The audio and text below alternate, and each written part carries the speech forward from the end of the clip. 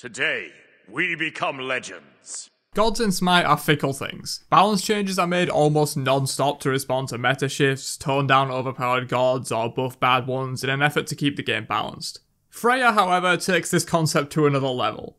Hey, my name's Inter, welcome back to the channel, and if you're new here, then be sure to subscribe for all my content coming soon. Today we're going to cover the most reworked god in Smite's history from start to finish. That's right, today we discuss Freya's turbulent history in Smite.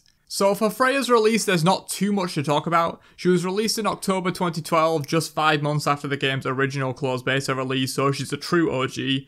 Her kit was mostly the same as it is now, we'll call this the Mark 1 kit. Her 1 gave her autos bonus damage and her 2 made them AoE, both for a limited duration. Her 2 loses the AoE and slow when her 1 is active, you get the drill. One thing to note though was that both these abilities did half damage when the other was active, so when she activated both, she was doing quite significantly reduced damage. But the main thing of note for Freya's release was that she was released back in a time when all basic attacks were physical, regardless of your god's primary damage type, and any god could build any item. So back at Freya's release, she could buy Deathbringer and crit with her basics, among other things. This is why her passive back then converted 20% of her magical power into physical power, so her basics could still hit pretty hard with a full magical build. But that's Freya's original Mark 1 design. But Freya's release isn't really the spotlight of this video, so let's move on to her post-launch changes and the many reworks she's undergone over the years. So it would appear that Freya launched pretty weak, as four different buff patches came her way in the space of three months after launch, increasing her power in a variety of ways such as cooldown decreases on her primary damage, an addition of a mechanic that gave her lifesteal when her 1 and or 2 were active, a clear inspiration for her passive that she still holds today after the physical auto attacks kicked the bucket, the removal of the damage halving on Pulse and Irradiate being used together, and a nice buff to Irradiate's damage and scaling. The next big changes to Freya came in beta patch 0.1.16 666, where she was possessed by the devil. I mean, where her basic attacks were changed to magical, in line with all other magical gods at the time. This came with some substantial nerfs to both her steroids, given that her basics now scaled much harder with magical power. This was also the patch that took the lifesteal off of her 1 and 2 and made it into the passive that she now has today to replace the old passive as it was no longer needed because of the auto attacks change. This is what I consider Freya's Mark II design.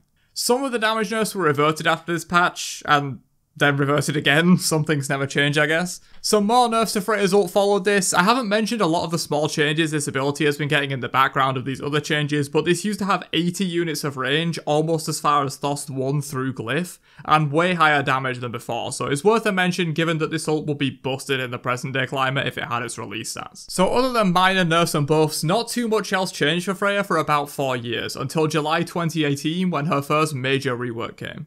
This rework came with huge changes to her 1 and 2, as well as a completely new passive and more nerfs to her ultimate. This was her Mark 3 design. So first up, the new passive, instead of giving her lifesteal, gave her either healing or mana restoration based on if she was in ranged or melee mode when she landed basic attacks. 6% mana and 2% max health. This might seem a little strange until you get into her 1 and her 2. So her 2 was reworked to be a toggle ability instead of duration based. You could toggle this on at any time free of charge to turn your basic attacks ranged and allow them to go through minions damaging them all but stopping at the first god hit.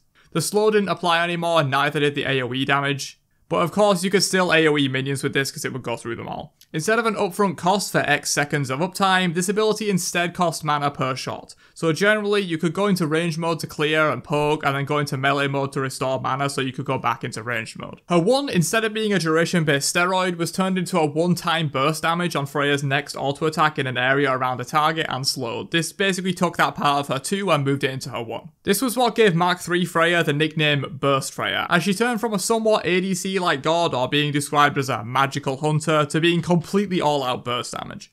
The bonus damage from her 2, 1 and Polynomicon meant you could just press 2, then 1, auto you once and you basically died or lost like 80% of your health. This was probably the most unbalanced Freya we've ever seen and was the phase where Freya mid actually became better than Freya ADC because of her great wave clear and insane burst damage.